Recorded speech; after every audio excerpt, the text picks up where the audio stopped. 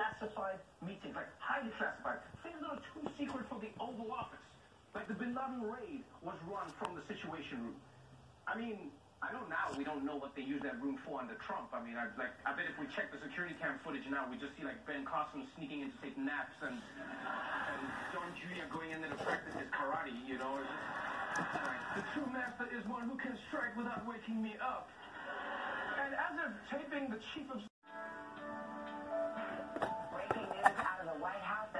President has asked Secretary of State Rex Tillerson to step aside, and he will be replaced with the current CIA director, Mike Pompeo.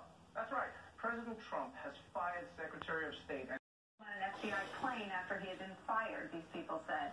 McCabe told the president he hadn't been asked to authorize Comey's flight, but if anyone had asked, he would have approved it.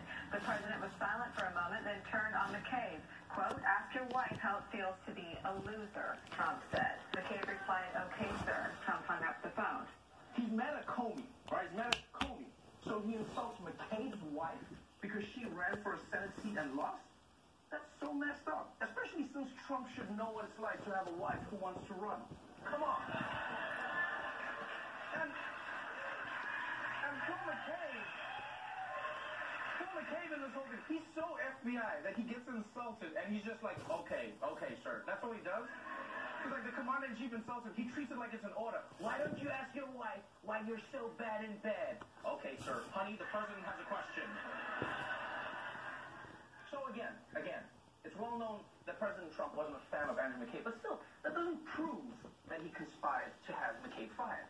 It is suspicious, though, that back in December, Trump tweeted, McCabe is racing the clock to retire At President Trump's request, President Trump fired Attorney General Jeff Sessions. Okay, now that's not fair to President Trump, right? He didn't fire Jeff Sessions. He just said Rumpelstiltskin, and then the curse was broken. That's how it works. And remember, this is all happening in one day. Realize this? All of this is happening in one day. Boot Now, mode. This is huge news. The president Boot the ECU to get it, his attorney let it flash. I know there were rumors that this might happen day to day. This was me Okay. like months ago, okay? This ECU came out of an automatic Three years ago, all right? A6. This was me yesterday. When I as indicated by the ECU. These letters at the end represent what model car this ECU came out of. So letter T, that would represent that this car this ECU came out of an automatic A6. What I want to do is I want to turn that T into an M, and I want this ECU to think that it's a S4 six speed. I'll be fine. I'll be fine. This is the setup. I don't have a lot of money. I know it's not, you know, it's not the best, but Please, guys, let's stop with this whole fake Melania business, all right? you know, It's not true. it's creative. It can be done. I can link to the ECU. I can talk to it. Picture. There is something Had to do a bunch of crazy shit with the wiring, but it's all a learning process. All right, now let's, let's go here. Just flashed it. There's another story that Trump wished. Let's see what we got. Remember a few weeks ago?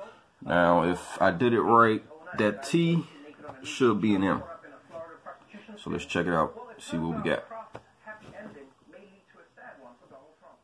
There twist in the prostitution scandal Uh. Robert Kraft, a woman who once owned a Florida massage parlor tied to that case.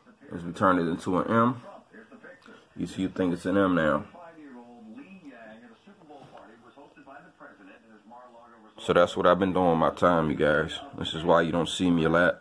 as you know, are lying As I tell you guys, um, I'm truly, genuinely a nerd, and um, this is what I do with my time.